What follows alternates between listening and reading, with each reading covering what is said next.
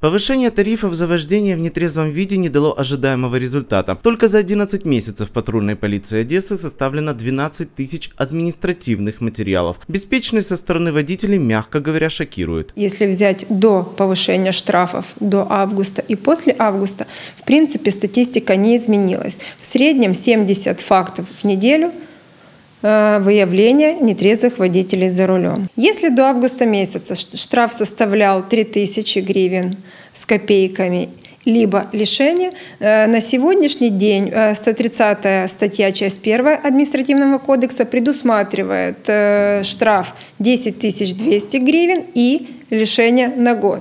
Если повторно в течение года, то 20 400 и дальнейшее лишение. И затем идет по увеличению. Водители не пугают огромные суммы штрафов. Точнее, они не думают об этом, когда садятся пропустить очередную рюмку. Патрульная полиция постоянно проводит рейды по выявлению любителей под шофе сесть за руль. Результат – всегда кто-то попадается. Да и статистика говорит сама за себя. Почти каждая десятая авария с травмами происходит по вине пьяного водителя. Именно по вине нетрезвых происходят тяжкие ДТП.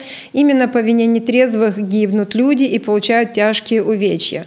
Поэтому особое внимание именно этим нарушениям нарушителям. Ну и, конечно же, ну, сложно понимать человека, который в очень нетрезвом виде садится за руль и едет, абсолютно не понимая, насколько опасно не только ему, но и всем окружающим людям. Новогодние праздники явно побьют все рекорды по количеству выявленных пьяных водителей. Патрульная полиция уже готовится переходить на усиленный режим несения службы. Будет усиление службы, это будет патрульная полиция, это будет нацгвардия, это будут э, также и ребята, курсанты университета МВД и, конечно же, общественники, которые всегда рядом, которые готовы нам помогать и очень часто помогают. В данный момент мы также с некоторыми из общественных организаций патрулируем в ночное время в местах концентрации э, как правонарушений, так и криминальных нарушений. Правоохранители напоминают, Новый год в первую очередь это долгожданный детский праздник, а взрослым стоит перед застольями оставить машины дома и воспользоваться общественным транспортом или такси. Иногда беспечность и надежда на авось приводят к непоправимым последствиям. Не стоит омрачать себе и другим волшебство Нового года.